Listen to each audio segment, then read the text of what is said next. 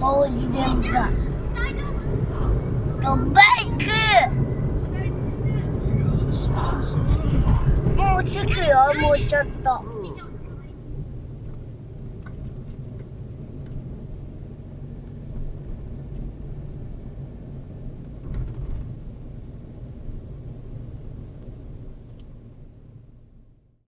えー今回はですね、シャオミ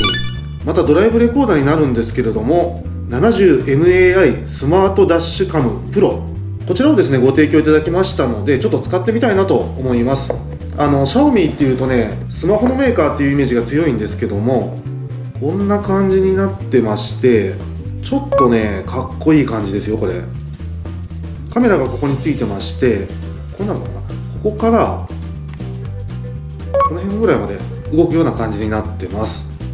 えっとこの中に入ってるのがですね場所決め用のフィルム。これが2つ入ってます。それとあとはねシガーソケットで給電する時のソケットとあとはケーブルということになってます。えっとこの横はマイクロ USB の端子とあと SD カードスロット。それぐらいですね。よしじゃあこれで取り付けをしてみようと思います。えっと、こちらのね取り付けなんですけどもちょっとね特殊な感じというかなんというかこういうね透明なフィルムがあります。この透明なフィルムをこうなんか任意のところに貼ります。貼ってここにね取り付けるような感じになるんですけどもまずこの両面テープを剥がしたこの土台土台を貼り付けます。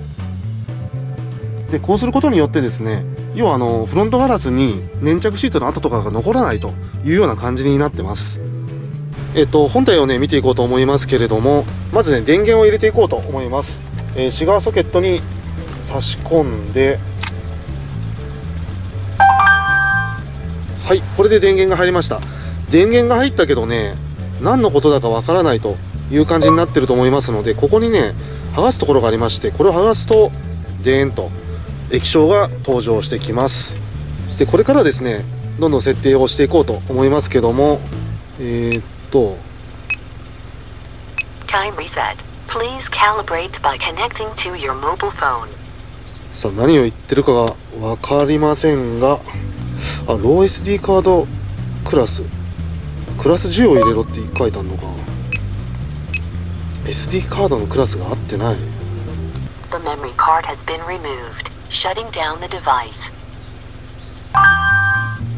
Time reset. Please calibrate by connecting to your mobile phone. クラス10以上の SD カードじゃないと合わないと参ったな持ってないなしょうがない Amazon でポチりましょう